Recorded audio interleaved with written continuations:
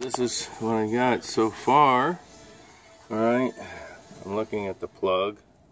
So, I know that this bigger side is ground. So, you trace it back, I got the white and the black. Trace it. Let's see, it goes, so this is the ground side over here. I believe. I'm going to try and research and double check everything.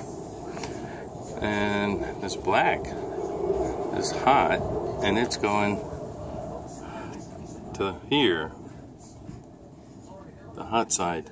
I'm assuming for now. I gotta check. And so, you know, the terminated here on this side.